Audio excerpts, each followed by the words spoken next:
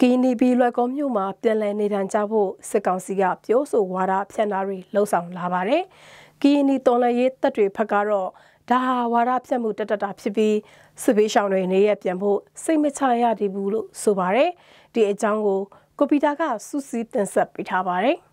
။စစ်ကောင်စီကဂရင်းနီပြည်ရဲ့မြို့တော်ဖြစ်တဲ့လိုက်ကော်ကသူတို့ထိတ်ချုပ်ထားတဲ့နေရာတွေမှာပြန်လည်ထူထောင်ရေးကောင်းစဉ်တုံးပြီးအုပ်ချုပ်ရေးရန်တရားကိုပြန်လည်ပတ်နိုင်ဖို့အတွက် နှီးမျိုးစုံသုံးပြီးစူးစမ်းနေပါတယ်။လက်ရှိမှာတော့လစ်စစ်မီးနဲ့ရေကိုပုံမှန်ပြန်လည်ရရှိရေးလှုပ်ဆောင်ပေးနေတယ်ဆိုပြီးစစ်ကောင်စီကိုထောက်ခံနေတဲ့ Telegram Channel တချို့မှာဖော်ပြထားပါတယ်။လိုက်ကော်မြို့ပေါ်ကရက်ကွက်တချို့ဖြစ်တဲ့မင်းစုဒေါနခုရှမ်းပိုင်းဒေါသမကြည်တာယာနှံ့ပေါ်ဝါဧက900ယီနီကာရက်ကွက်တွေထဲလစ်စစ်မီးတွေပြန်လည်ရရှိနေပြီဆိုပြီးလဲပြောဆိုမှုတွေရှိလာပါတယ်။မြေပြင်အခြေအနေနဲ့ပတ်သက်ပြီး Granny မျိုးသားများကာကွယ်ရေးတပ် KNDF တာဝန်ရှိသူတယောက်ကခုလိုပြောပါရယ်။လော်ကောမျိုးကတော့ဟိုနှစ်ဖက်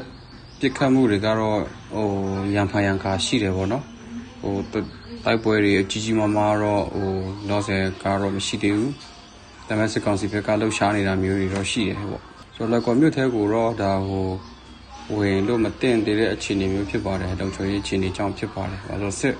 စစ်စုံဖြစ်တော့ဗောနော်စစ်မြေပြင်ဖြစ်နေတဲ့အတွက်တော့ကော်မျိုးတဲ့ကိုဝင်ရောက်နေထိုင်တာတွေပစ္စည်းဝင်ရောက်ယူတာတွေက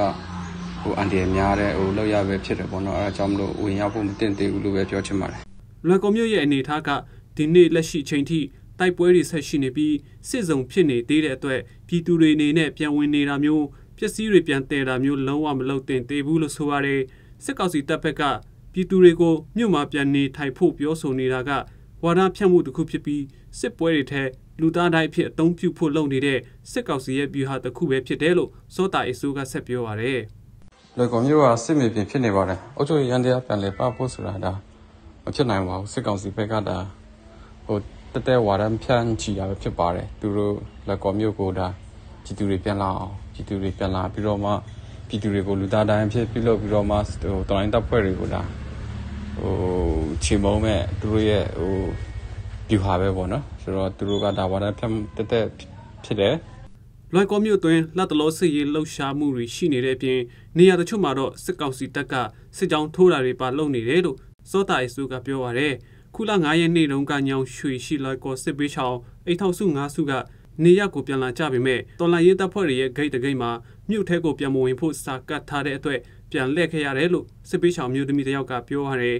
ရှမ်းပြည်နယ်တောင်ပိုင်းအထိစစ်ချောင်းသွားကြတဲ့ဂရင်းနီစစ်ပေးချောင်းတွေကတော့သူတို့တွေရောက်တဲ့နေရာမှာနေရာထိုင်ခင်းအဆင်မပြေမှုစားဝတ်နေရေးနဲ့အလုတ်ကိုက်ခွင့်လန်းနေပါတာတွေကြောင့်နေရရင်းကိုပြန်ဖို့ကြိုးစားနေကြပါတယ်။ဂရင်းနီတော်လန်ရေးပူပေါင်းတပ်တွေကတစ်လေးလုံးစစ်ဆင်ရေးပြီးနောက်ဂရင်းနီပြည်ရဲ့နယ်မြေ80ရာခိုင်နှုန်းကိုထိချုပ်ထားနိုင်ပြီဖြစ်ပေမဲ့လိုက်ကော်မြို့ကိုတည်ယူနိုင်ခြင်းမရှိသေးပါဘူးခင်ဗျာ။